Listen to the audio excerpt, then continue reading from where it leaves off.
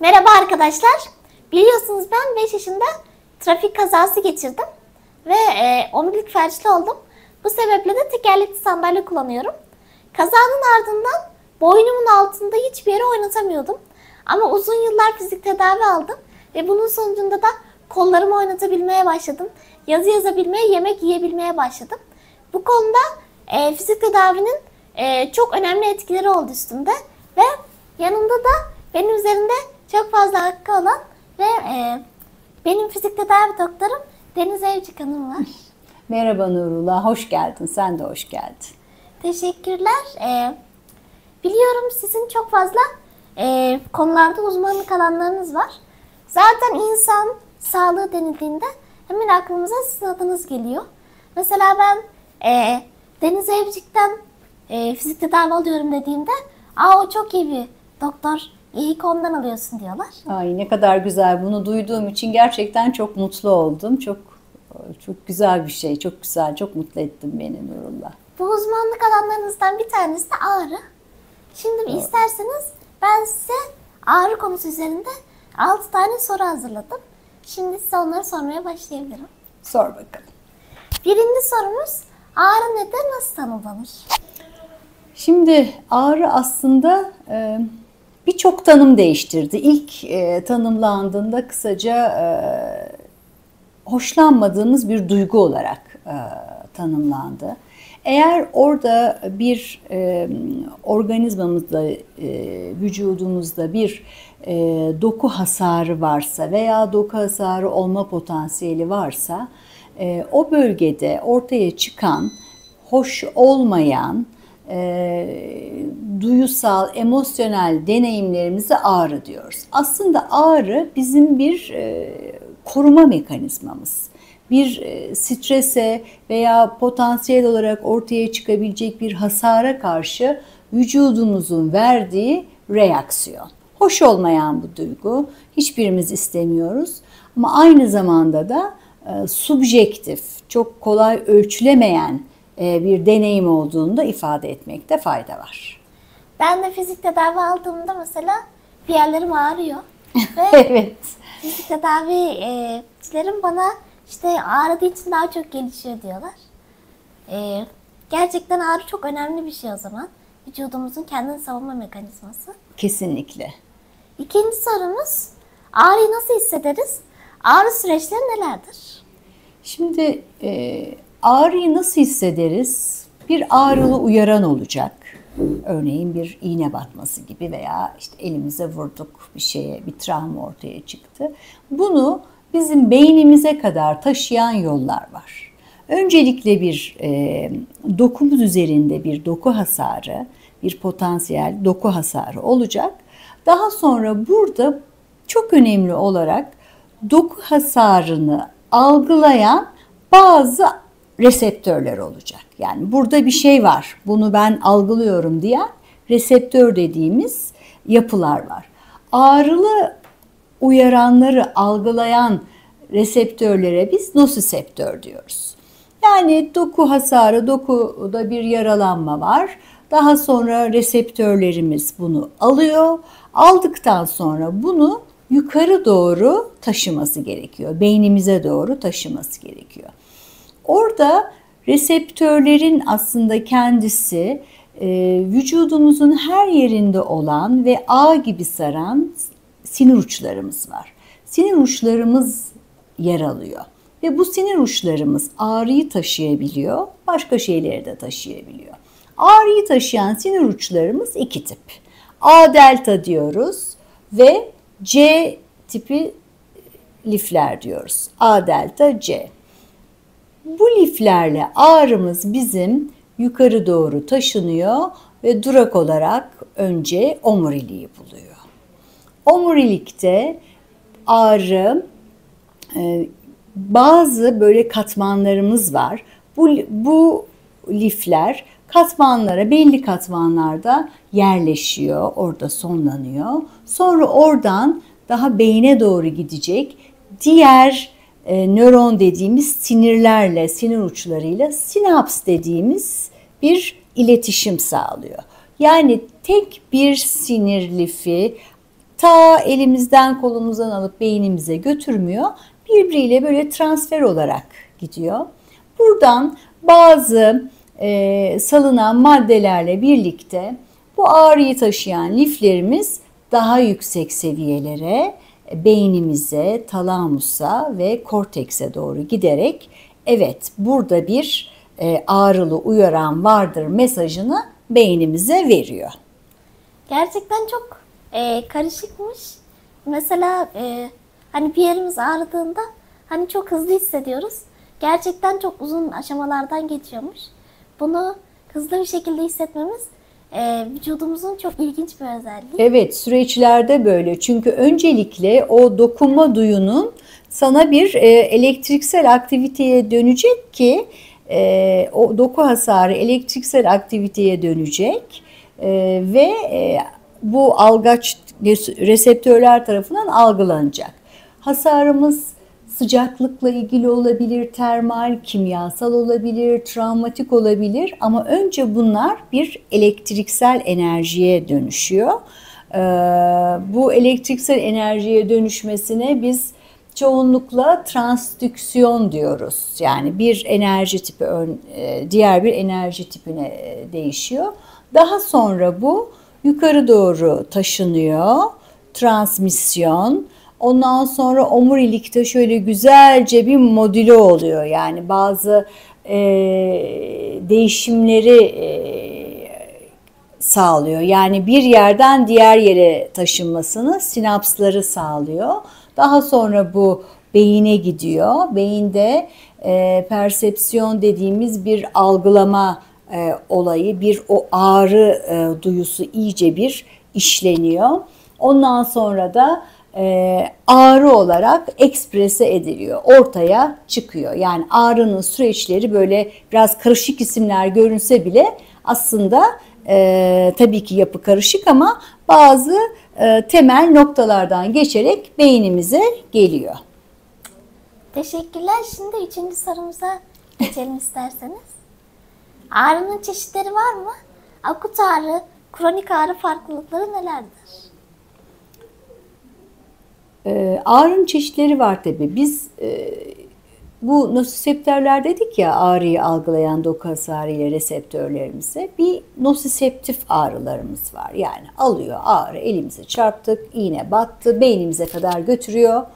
Ee, veya bazen de omurilikte bir böyle ark yapıp hemen e, refleks arkla elimizi çekmemizi sağlıyor.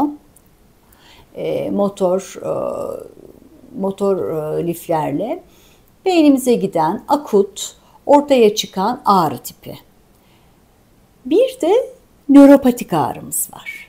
Nöropatik ağrıda ise belli bir e, sinir dokusunda yani sinir dokusunun kendisinde bir doku hasarı veya potansiyel bir doku hasarı olan olgular var. Örneğin sinir yaralanmaları gibi. Bunlar da periferik, periferde olduğu gibi veya işte omurilik yaralanmaları veya santral sinir sistemini etkileyen diğer beynimizle ilgili hastalıklara e, da karşımıza çıkan ağrılar var. Biz bu hem periferik hem santral sinir sistemini etkileyen bu ağrılara da nöropatik ağrı diyoruz. Nosiseptif ağrı kolaylıkla e, tedavi edilebilir. Çoğunlukla akut ağrıları içerir. Örneğin aniden beliniz tutuldu, boynunuz tutuldu. Hemen biz müdahale ederiz. E, kısa sürelidir. Genellikle 3 aydan e, azdır. Müdahaleyle, tedaviyle çözülür ve e, hasta tekrar normal hayatına dönebilir. Nöropatik ağrılar ise daha çok kronik ağrılarla birlikte olur. Onun mekanizması birazcık daha farklıdır. Hasta kronikleşince artık e, o yani kronikleşirken artık bir sensasyon ortaya çıkıyor. Yani mesajlar e, o iletim yolunda e, elektriksel aktiviteler e, çoğalıyor. Bunu algılayan omurilikteki alanımızda değişiklikler oluşuyor. Biz buna plastiste diyoruz.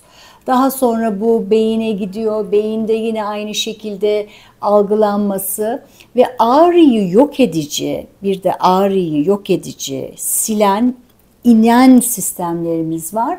Bunların çalışmamasıyla ilgili her basamakta farklı bir problem ortaya çıkabiliyor kronik ağrıda. Kronik ağrı birazcık daha artık akut ağrıdan farklı bir durumda.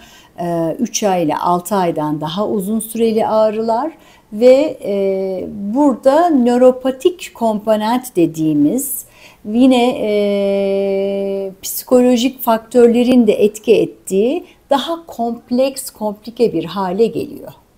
Tedavisi de daha zor oluyor bizim için. Teşekkürler. Şimdi dördüncü sorudayız. Ee, ben sürekli duyuyordum ağrı eşiği diye e, bir şey duyuyordum. Ve ben de merak ediyordum. Şimdi size e, bunu sormak istiyorum. Ağrı eşiği nedir? ağrı eşiği, ağrıyı ilk duyduğumuz nokta. Bu aslında bunu sorduğun çok iyi oldu. Çünkü bu böyle çok karıştırılan bir konu. Yani bize ağrıyı hissettiren ilk nokta. Ağrı eşiği. İlk hissettiğimiz nokta. Değiştirilebilir mi? Ee, ağrı eşiği çok fazla değiştirilir Değiş, değişmez yani bu bizim e, getirdiğimiz bir eşik. Ama bir de bunun yanında ne var? Ee, ağrı toleransı var. Ağrı toleransı var ki bu da bizim hissettiğimiz en şiddetli ağrı. Bunu de, bunda değişiklikler yapabiliyoruz. Bu ağrı toleransında değişiklikler yapabiliyoruz. İkisi birbirinden farklı. Benim ağrıya bazen hastalar benim ağrıya toleransım çok yüksek veya çok düşük veya benim ağrı eşiğim şöyle diyor ama aslında doğrusu ağrı eşiği e, ağrıyı hissettiğimiz ilk nokta toleransta dayanamadığımız nokta. Teşekkürler. Ben e, merak ediyordum. Sizin sayenizde öğrenmiş oldum. Sağ ol canım. Şimdi beşinci sorumuzla devam ediyoruz. Ağrıyı tedavi edebilir miyiz? Edebiliyorsak da nasıl edebiliriz? Ağrıyı tedavi edebilir miyiz? En güzel soru. Ağrıyı bilmiyorum. Çoğunlukla ağrıyı tedavi ediyoruz, tedavi etmeye çalışıyoruz.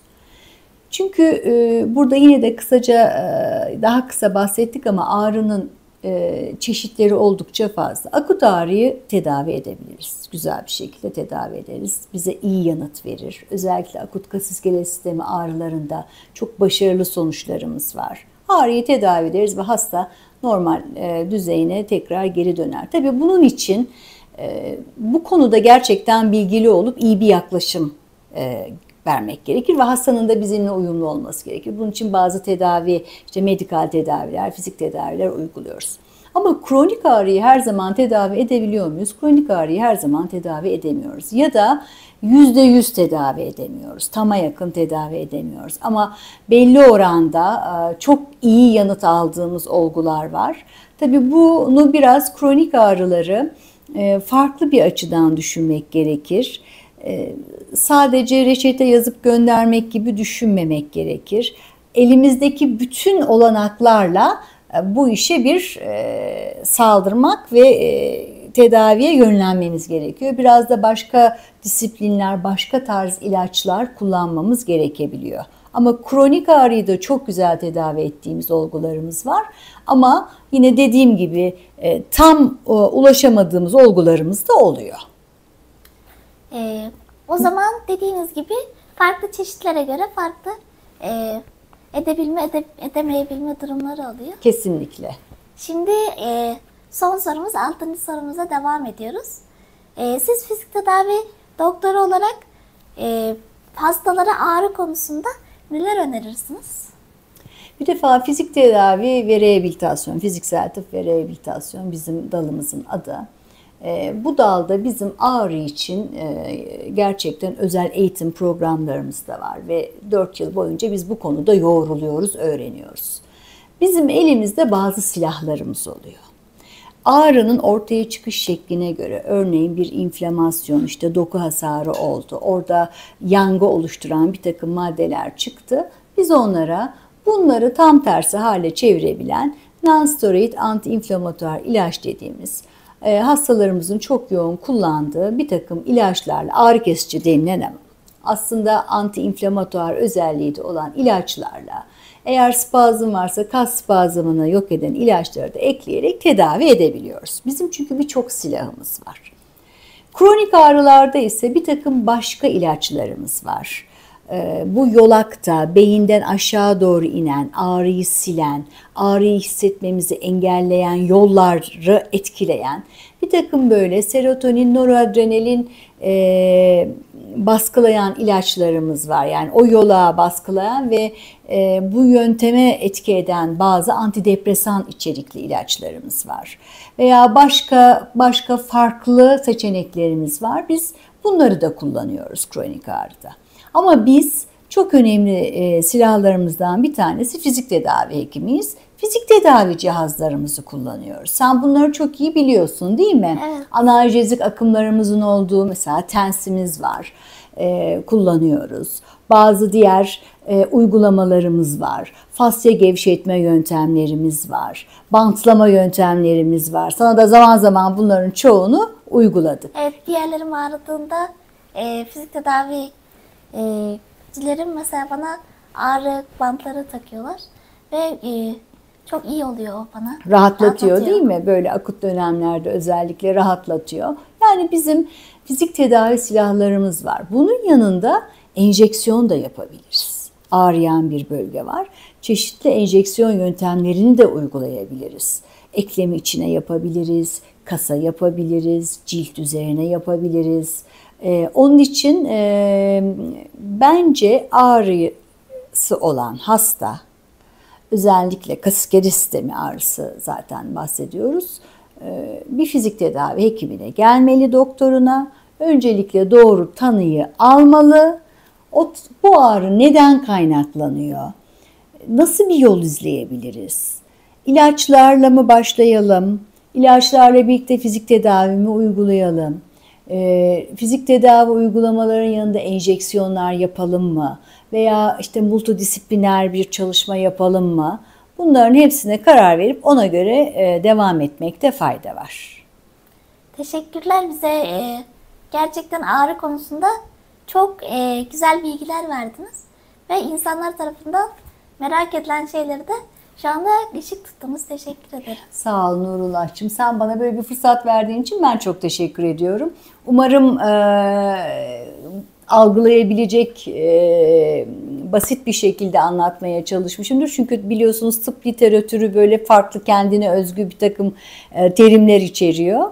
E, ama ne zaman istersen ben sana tekrar tekrar anlatırım. Teşekkür ederim. E, zaten insan sağlığı, fizik tedavi gibi e, farklı konularda bir sürü sorular var.